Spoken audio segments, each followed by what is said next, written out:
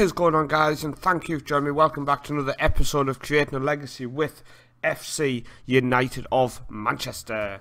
Now I started on this screen basically just so you can kind of see where we are in the league table now. I kind of wanted to share it because after 26 games I think this is the best we've done in the previous season so season 4 could be our year, guys. Um, we've actually had a couple of bad games, or I think we would have been close to the top. So since you were last with us for the Wrexham game, we followed that up with two fantastic back-to-back -back away games against Stockport and Salford before one all draw Nuneaton at home, before we followed that with the victory against Gloucester 2-0. Um, this is where we've slipped up recently. Um, 1-1 uh, away to Hyde, a 2-1 away to Ashton United, which we were actually winning 1-0, before a 1-all draw to Boston, who are in second, so it's not the end of the world that we got the draw against them. Sorry, they dropped down third now. So we're six points off top. Um, with, I think it's, how many games is it? 30. It's a fair few games left. A fair few games left. But um, team's going well. O'Toole's top in the average rate, but he is out for quite a while. Um, Nizic has the top clean sheets with 13 as well. Um, what I will say today, we are going with Ramirez Howarth up front. Um, he's only played the 14 games for us since joining 2017, but our strikers aren't scoring, so I think it makes sense that we do give him a chance today. Um, also, with um, O'Toole out, we are playing uh, over Egeria in um, the advanced playmaker role. Um, Morton is back on the left wing. We do have Simpson available if we need to bring him on. Um, Bram Ellison is stepping up this season. He's played 39 games for this season, the most he's played compared to any other season. He's definitely our first choice central midfielder now. But let's get into the game against North Ferriby, shall we? I'm just getting attacked by my cat under the table, which is always nice. Um, right, we'll go with the standard for now, and then we'll give it a few minutes and see exactly who in the opposition is doing well and who is not doing well.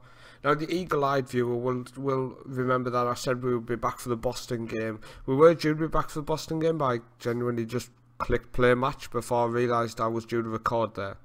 Um, Ball across, it's coming around, it's like a ping ball, but it's gone out and that's a goal kick for us. So I definitely think a victory is kind of, it's not vital, we've still got a fair few games left, um, 15 I think it is after this.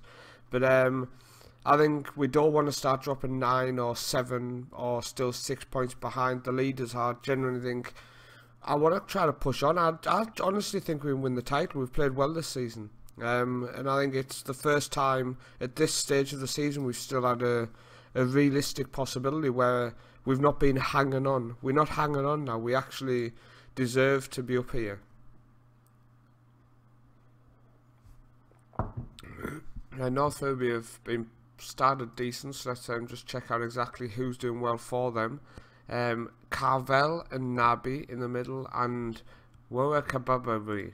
Yep, pronounce that when you're drunk. Okay, let's um make sure we hit this guy hard.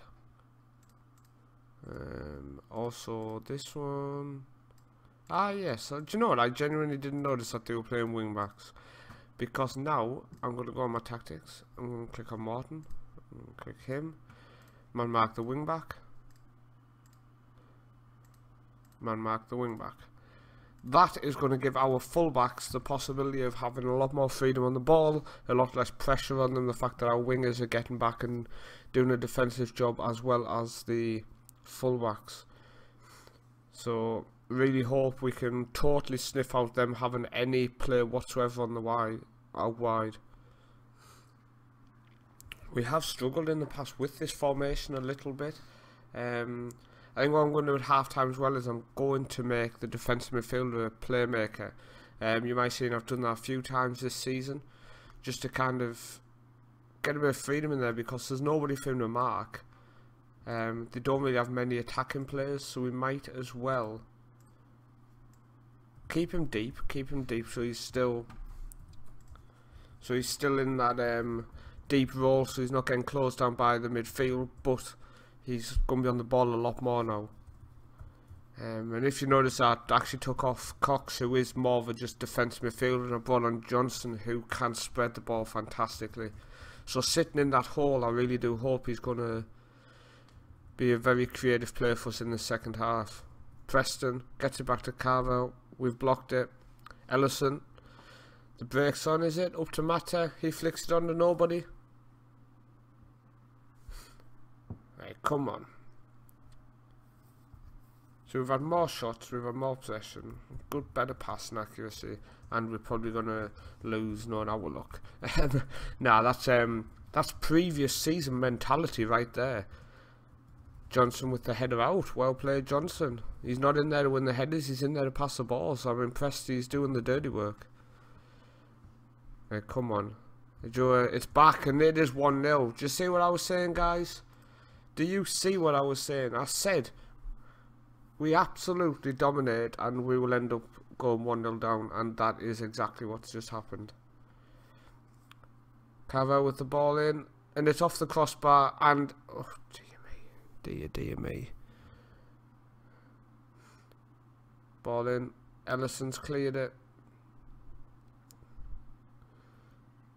Um, what's going on? Mas Mas Masterson, he lays it back.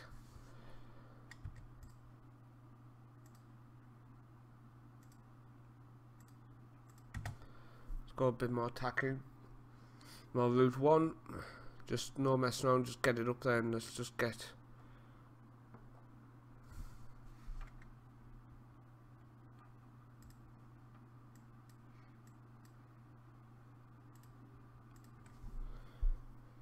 Mills in the Bellabaggy. Bellabaggy's been fantastic this season. He's keeping Linfield out, and it literally is just because of his performances. I'm not going to drop someone who's playing well. So he deserves to be in the team at the minute.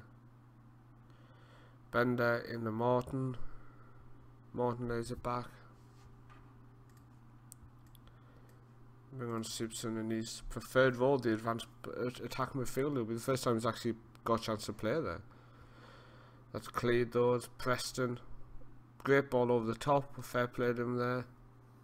Preston again. Preston is in an Abbey. Carve. Come on. Honestly, the last few games we've just been struggling a bit. Um, it no. It's so frustrating when we actually look like a good side. We pass the ball well, we attack well, we move the ball well. But it's just that at the minute, our final product, our strikers aren't scoring. We signed our Northern Ireland international, if you remember, a couple of episodes ago. He picked up a injury for two months after only playing a couple of games. I mean, we're still sitting in fifth, but we've gave the, the Chase and Pack a chance to close us down at the minute. Oh! Just bends it over the bar.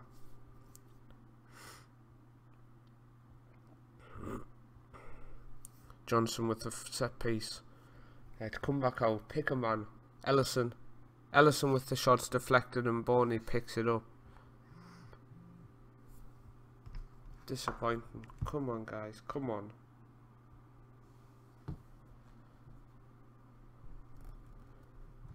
Nizic. He gets it out there to Bender. Bender lays it over the top to Morton.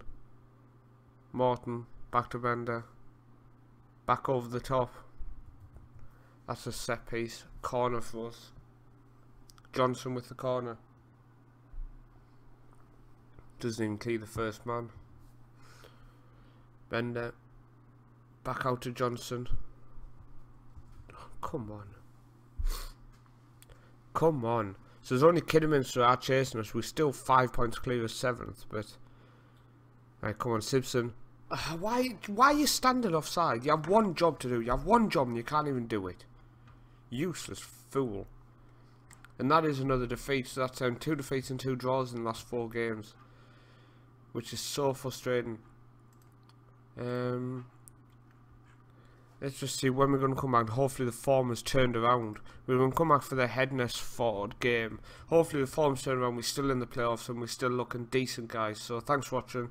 Stay tuned for next time and I will see you again.